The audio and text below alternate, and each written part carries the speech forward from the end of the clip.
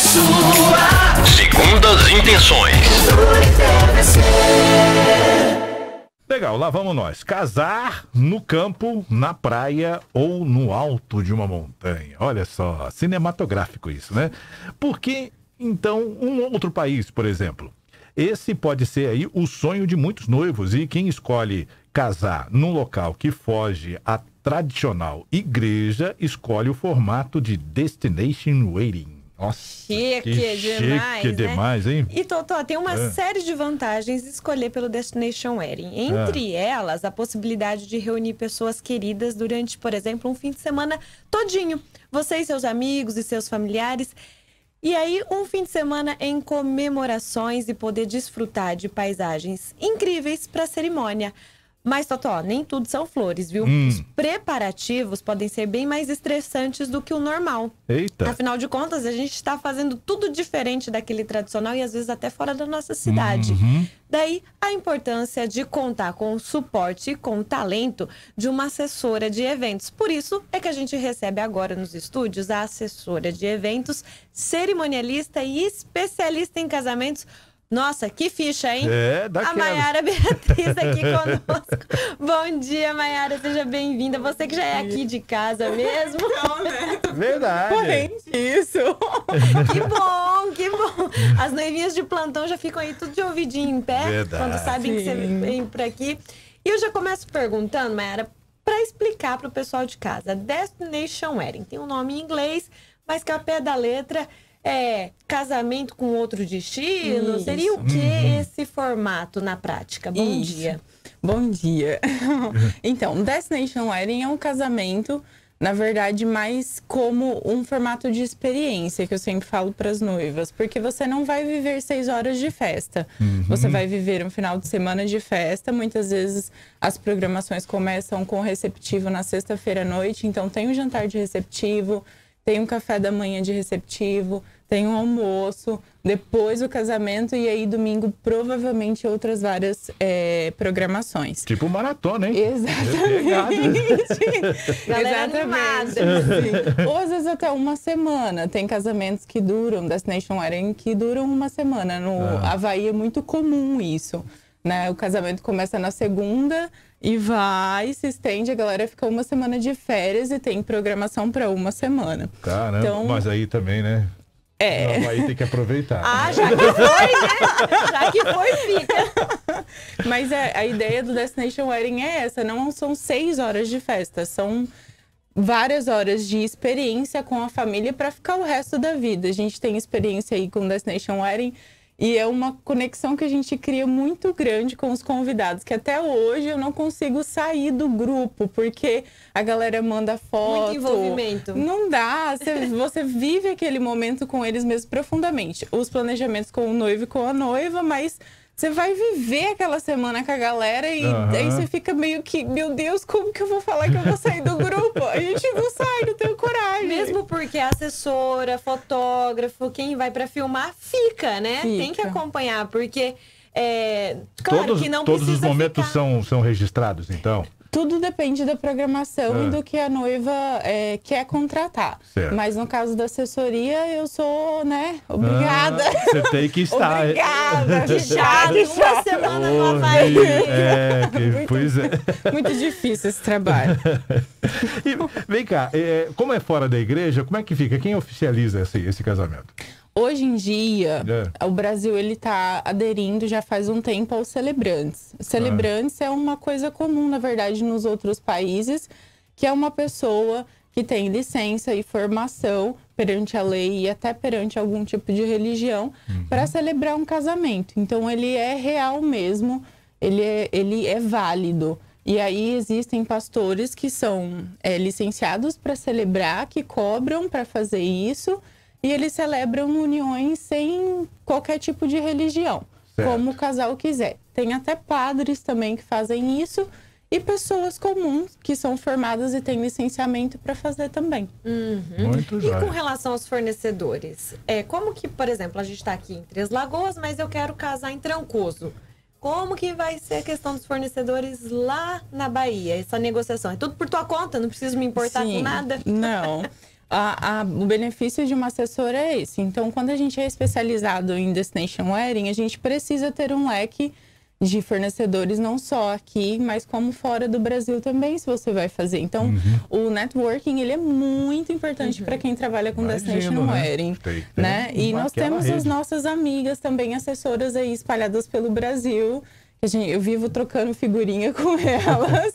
Então, quando elas vêm para cá, eu indico. Quando eu vou para outro lugar, elas me indicam fornecedores de segurança e isso é muito importante. Mas não quer dizer que os fornecedores tenham que ser de lá ou tenham que ser daqui.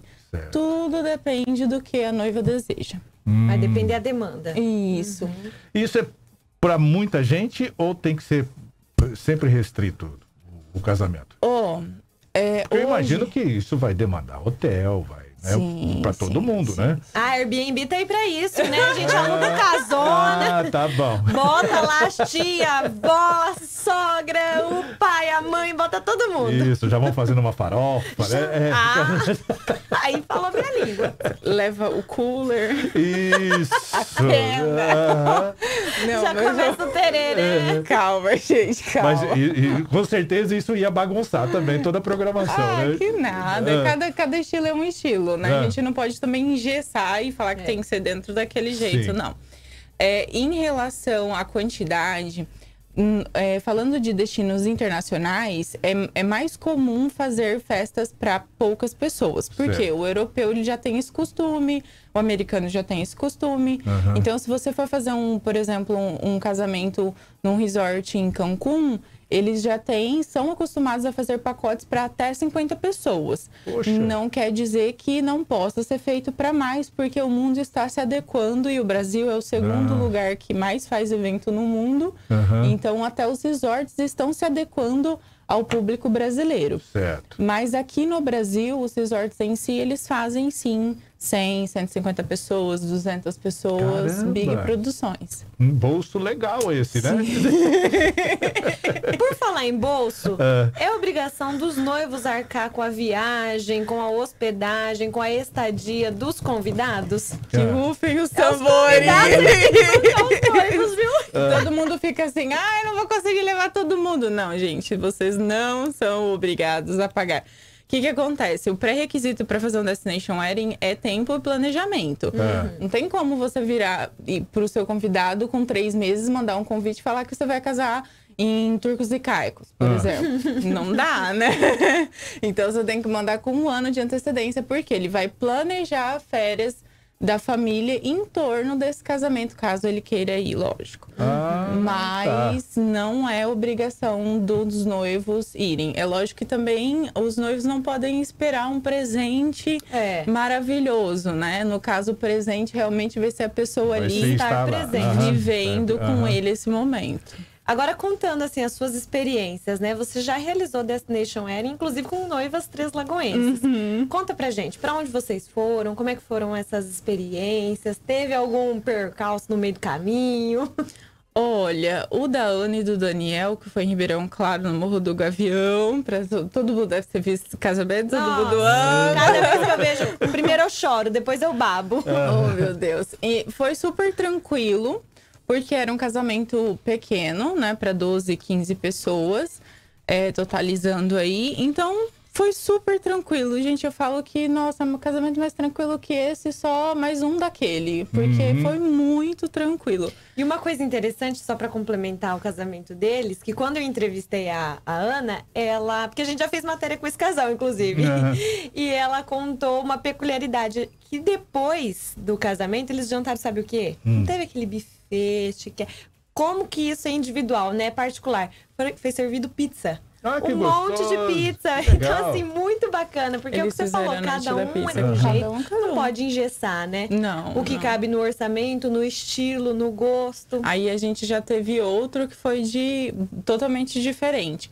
O casal é Três Lagoense, mas mora na Nova Zelândia e a família é daqui. E Uhum. eles queriam casar em um lugar próximo ao que eles tinham lá, mas não Certo. tinha condições de levar a família toda pra lá, porque a gente sabe que Nova Zelândia é pertinho, né? É. Pra ir de avião. Mais fácil. Quase ali na Austrália, depois. né? É, então. e aí a gente acabou fazendo o Destination Wedding deles em Bonito. Então ficaram, ficamos todos em uma pousada e aí já foi outra coisa, outra pegada, porque o da Ana foi rapidinho, foi lá, teve a experiência, fizeram um jantar e a família voltou. Agora já esse de bonito, ele foi mais extenso. Teve programação sexta, sábado e a galera foi embora na segunda-feira. Poxa, Ah, durou um legal, mais. hein? Bom, Foi depende, tudo depende de se adequar né, ao, ao orçamento e tal. Mas e os destinos mais procurados? Já tem, assim? Tem. Brasil e mundo. Brasil e mundo. Então vamos fazer Brasil primeiro. Brasil primeiro, por Ah. incrível que pareça, Búzios. Búzios! Búzios. Búzios é o top 1 de casamentos Ah. no Brasil. Depois vem seguido de Fernando de Noronha, né? Quem não Ah, quer, né? lógico. Noronha. Querendo, a gente quer fazer. Ah, Mas é, é uma coisa assim, do- depois do Noronha, esse, da, da, da atriz lá, todo mundo quer ir pra, pra Fernanda de Noronha, né? Verdade. Ai, mas é lindo demais. Eu né? imagino que Meu sim. Mas imagino. enfim, não É. precisa de muita coisa para um casamento num lugar Nossa daquele. senhora. Meu Deus. Mas aí tem. Como que funciona a estrutura? Porque ela é cheia de restrição, não pode entrar isso, tem que consumir só o que vem de lá. Tem o tanto de pessoas que Tem podem. limitação. Exato. É aquela história que o dinheiro resolve muita coisa. Ah, sim. Abre portas. abre portas, abre portas. não compra portas. tudo, mas a felicidade. Mas manda buscar, entendeu? Manda buscar, Isso entendeu? É o mais complicado de Fernando de Noronha, na verdade, é a logística, porque a gente tá falando de uma ilha, né? Uhum. Mas eu, para mim, o mais complicado é isso, porque você tem que levar tudo de, às vezes, de avião, de helicóptero, tem que ter balsa, e vai daqui, vai dali. Aí você imagina esquece um negócio. Não, né? Exato. Nossa, não, não não dá pra esquecer. nada, né? Não, Não dá pra esquecer Fernando de nada. Uhum. Noronha é complicado, mas Não vem aquela É coisa lindo. famosa brasileira também que chama gambiarra, né? Adoro. não, gambiarra não. No casamento não, pelo amor de Deus. Seguindo, Búzios, Fernando de Noronha. Aí tem o Nordeste, mas por incrível que pareça, que eu acho que você deve ter pensado que o Nordeste seria o primeiro, mas não é. Ah. Imaginava, já É. tava pensando, São, São Miguel dos Milagres. Não, não, Trancoso. não é, porque também a logística para lá é um pouquinho mais complicada. O que eu falo quando é complicado é que existe uma forma de se fazer. Então, às vezes o brasileiro fala assim, ah, é mais complicado. Não, então eu vou fazer em Búzios. Não, Búzios também tem complicação. Cada Uhum. lugar tem sua peculiaridade, não tem como. É, internacional, top 1, por incrível que pareça, Punta Cana e Cancún. Poxa, eu já pensei lá pro lado da Europa, lá todo. Não. Ah, eu já imaginava Cancún. Nossa realidade não é mais fácil, né? Porque Ah. Cancún e Punta Cana você não vai precisar tirar documentação. Ah, Então, verdade. Europa, a galera vai ter que ter documentação. Nos Estados Ah. Unidos vai ter que ter documentação. Mas depois de Punta Cana e Cancún, existem os outros destinos, que é o europeu, né? A Aham. Europa. E hum, também nos Estados Unidos ali, Miami, a parte da Flórida. Legal. Tá vendo? Já escolheu o seu, Totó? Ah, eu escolhi, eu queria ir em todos. Vou casar umas 500 vezes. Você vai, você casa, aí você despacha a família e fala, vai embora. Fica lá com a Marta mais uns dias. Mas Acontece, né? Sim. Vai, faz, o casal fica. Foi o que a Sim. Ana e o Daniel fizeram, É. né? Eles ficaram mais um dia Eles e meio. ficaram, na verdade, eles ficaram mais, mais um pouquinho, Tati, que eles estavam com a Ah, noite, eles o lua de mel. resort, não é, foi? eles ficaram no resort de Ribeirão Claro, Taiaiá. Lindo, Lindo. meu Tá aí, Deus. tá aí, então. Tá aí, despertou o interesse aí, pessoal de casa que tá Isso. noivo, namorando, engatilhando pra um casamento, já chaveca ali o namorado. Ainda mais nessa época que a gente tem que estar com essa coisa de restrição, né? De coisa, em vez de convidar, encher uma. Que não pode. Que né? já não pode, Não né? pode, uma igreja aí, uma festa aí no restaurante, aquela coisa toda. Esse modelo, posso chamar de intimista? Pode, pode, É? pode chamar de intimista, mas é como eu falei, dá pra fazer pra mais gente também. É, você falou em Tudo 50 vai- pessoas aí. né? É um tipo de casamento que a gente tá acostumado a ver no cinema, É né? verdade. Em É. alguns filmes Verdade. a gente vê é, muito bem acompanhada, por exemplo, que é um filme bem antigo, Aham, que a protagonista sai dos Estados Unidos pra casar a irmã na Europa. certo. E aí elas fazem isso, né? Elas vão pra uma casa de campo, passam o final de semana lá, tudo acontece Em lá. Friends também, A o casamento Itália que é acontece na muito- Inglaterra. Vai, todo mundo dos Estados Unidos vai pra lá. É. Né? Então, Sim, sim. A Itália é muito famosa por isso, né? Uhum. Recebem casais Muitos casais brasileiros casam na Itália por conta Ai, que disso. básico, né? Nossa. Casar na Toscana. Exatamente.